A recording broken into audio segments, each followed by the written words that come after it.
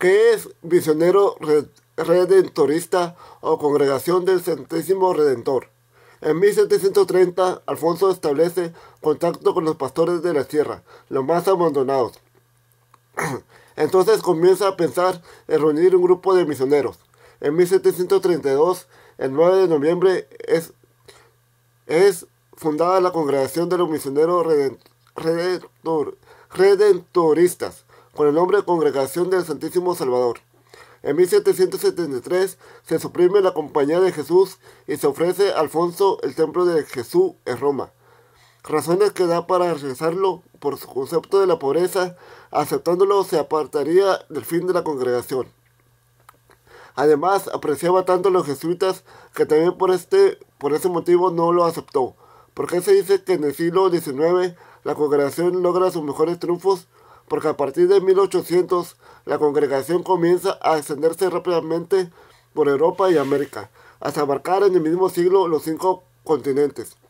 Figura de la expansión de la congregación del siglo XIX, San Clemente María Hofbauer, austriaco, el mismo año de la muerte de Alfonso, 1787, funda el primer convento redentorista fuera de Italia, en Varsovia.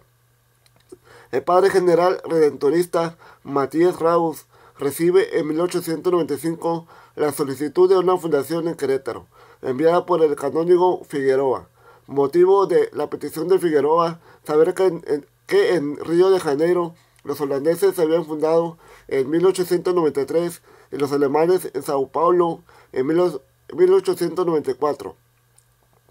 El 14 de noviembre de 1895 escribe Antonio Henger superior de la misión del Pacífico en América del Sur, para decirle que considere la posibilidad de fundar en Querétaro trayendo personal de los países que ya lo tenían, Colombia, Ecuador, Perú y Chile. Llegaron el 5 de junio de 1908, eran 12, 7 sacerdotes y 5 hermanos religiosos, predicando en varios lugares del estado de Veracruz, por ejemplo, San Andrés Tuxtla, que tenía 12.000 habitantes, y Catemaco. Fueron casi 60 días de misión. Luego ocuparon sus casas la pastora de, en Veracruz y Cuernavaca. La persecución religiosa en 1926 no desanimó a los misioneros. Ellos, escondidos y disfrazados, continuaron predicando entre los pobres, buscando los más alejados del culto ordinario. La presencia redentorista se había extendido a Torreón, Pachuca y San Luis Potosí. Escribir el pasado no es solo un bello pasatiempo o un estudio interesante, es conocer lo que hemos sido para explicarnos lo que somos y así clarificar los caminos de lo que seremos o lo que queremos ser, nuestros retos, sueños. Prevísero Freddy Casañeda Zamora. La Congregación del Santísimo Redentor en Tierras Mexicanas fue fundada por la provincia de Madrid en el año de 1908, gracias a las inquietudes de algunos ilustres personajes como el cango Francisco Figueroa, el presbítero Joaquín Arroz, y los obispos Francisco Plancarte y Francisco Orozco, quienes, tiempo atrás, venían redentoristas en tierras mexicanas. En esta feliz fecha, 8 de marzo de 1908, venían su sueño hecho realidad.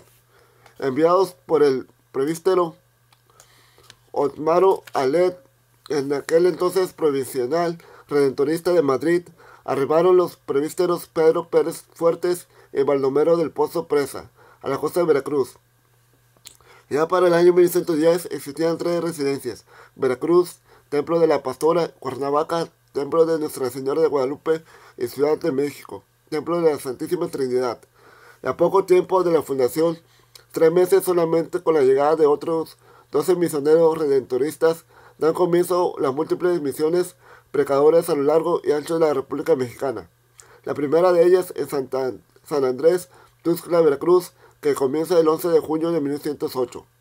El 2 de febrero, el 2 de, febrero de 1966, el prevístero Guillermo Gaudreau, superior general, erige por decreto la provincia de México, es la, es la número 36. A partir de entonces se tienen los siguientes acontecimientos. En 1170, la parroquia del Santísimo Redentor de la Ciudad de México se construye casa provisional. Las últimas bendiciones se dan a las siguientes fundaciones con sus respectivas iglesias. Ciudad Obregón, Templo de Fátima y Guadalajara, Templo del Santísimo Redentor, en 1970. Irapuato, Templo de Santa Anita, en 1973. En 1990, como respuesta extraordinaria, el vigésimo capítulo general se funda una nueva comunidad en la Sierra Tarahumara, Carichi, Chihuahua, asumiendo la parroquia de la Sagrada Familia durante 25 años hasta 2015, que se entregó a la diócesis. También se tuvo la experiencia de un teólogo interprovincial a partir de 1982, en el cual se involucraron unidades de América Latina. Las unidades que participaron en el proyecto fueron México, Centroamérica, Venezuela, Colombia, Ecuador y Puerto Rico. Después de muchos altibajos se cerró en el 2003.